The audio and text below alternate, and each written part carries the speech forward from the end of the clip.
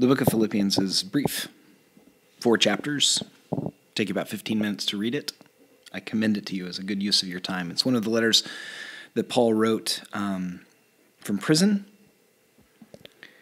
I have long thought it's perhaps Paul's most pleasant letter, or perhaps it would be better to say that the Philippian church, he's very fond of them, at least at the moment that he wrote the letter to them. I thank my God in all my remembrance of you. Verse 3 chapter 1. Always in every prayer of mine for you all, making my prayer with joy because of your partnership in the gospel from the first day until now. And I am sure of this, that he who began a good work in you will bring it to completion at the day of Jesus Christ. It's right for me to feel this way about you all, because I hold you in my heart, for you are all partakers with me of grace, both in my imprisonment and in the defense and confirmation of the gospel. the Philippians needed some gentle corrections. They had also sent uh, money to support Paul's ministry, and he makes a lot of indirect references to that while praising them. And chapter 4 goes this way Therefore, my brothers, whom I love and long for, my joy and my crown, stand firm thus in the Lord, my beloved. I entreat Euodia and I entreat Syntyche to agree in the Lord, which would have been awkward for them because it's probably 30 people in the room, and one person had to read this. And I wonder if it was a confrontational person who looked at them when he was reading it, or someone who was just reading it and hid behind the paper. Yes, I ask you also, true companion, that would be the reader of the paper, help these women who have labored side by side with me in the gospel with Clement and the rest of my fellow workers, whose names are in the book of life. Rejoice in the Lord always. Again, I will say rejoice. Let your reasonables be known to every to everyone.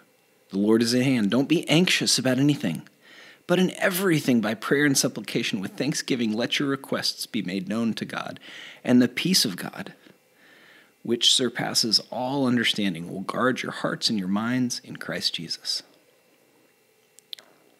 I rejoiced in the Lord greatly. I'm skipping to verse 10.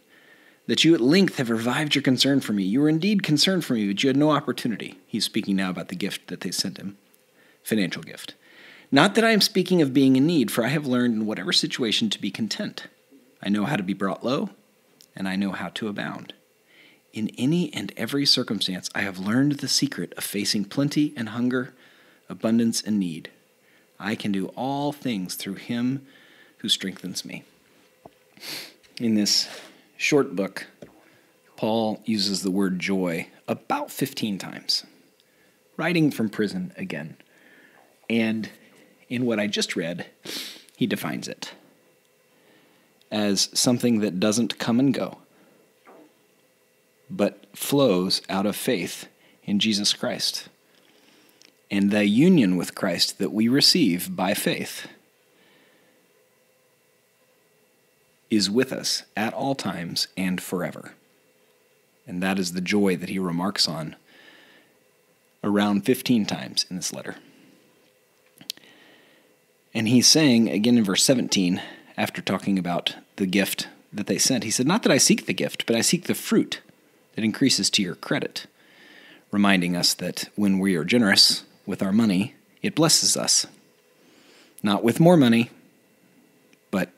as a, as a fragrant offering to the Lord. In verse 18, he says, I have received full payment and more. I am well supplied, having received from Epaphroditus the gift you sent, a fragrant offering, a sacrifice acceptable and pleasing to God. And my God will supply every need of yours according to his riches in glory in Christ Jesus. To our God and Father be glory forever and ever. Amen. The context of Philippians is more pleasant than Galatians or Corinthians, um, and perhaps it's easier to understand the theology behind it. And one of the gifts of this book is a somewhat meandering definition of joy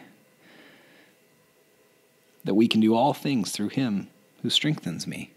Of course, the first hearers wouldn't have thought they could breathe underwater or fly or be- double their net worth, but that they could deal with all of life's adversities that face them every day, regardless of whether they have more or less abundance, hunger, or need because of Jesus and because faith in him delivers peace that surpasses all understanding and joy, which is spiritually abounding regardless of outward circumstances.